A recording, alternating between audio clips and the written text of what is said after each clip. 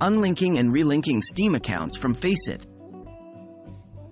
Hello everyone. Today we're going to walk through the process of unlinking your current Steam account from your Faceit account and then linking a new one.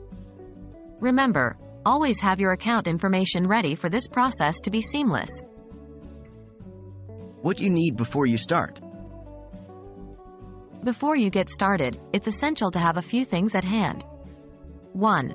Your Faceit login details. You'll need these to access your Faceit account. 2. Your current Steam account details. This is necessary for the unlinking process. 3. Your new Steam account details. You'll need these for the relinking process. Unlinking your current Steam account. Let's jump straight into the process. The first step involves unlinking your current Steam account from your Faceit account. 1. First, log in to your Faceit account. 2. Navigate to the Settings section. 3. In Settings, find the Linked Accounts area. 4. Here, you should see your linked Steam account. Click the Unlink button next to it. 5.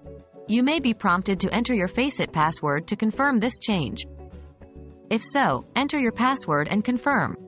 Remember that once you unlink your Steam account from Faceit, your game stats and progression will be reset on the Faceit platform. Linking your new Steam account. After you've successfully unlinked your current Steam account, it's time to link your new Steam account. Here's how to do it. 1.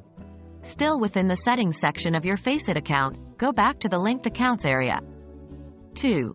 You should see an option to link a new account. Click on this 3. A prompt will appear asking you to sign in to your new Steam account.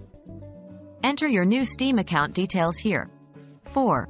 After signing in, there will be a confirmation to link the accounts. Confirm this, and your new Steam account will be linked to your Faceit account. Note, you can only link one Steam account to your Faceit account at a time. And there you have it.